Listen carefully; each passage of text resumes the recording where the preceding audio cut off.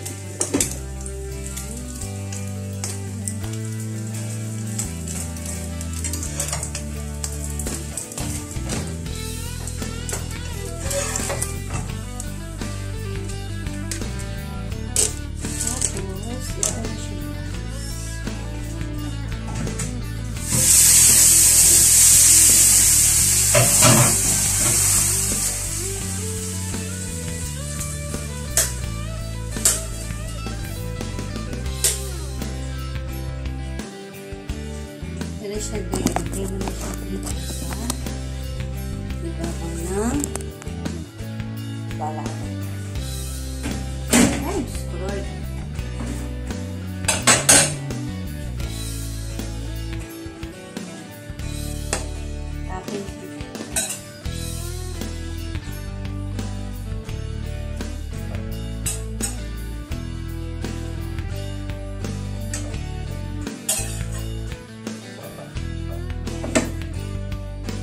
やっぱり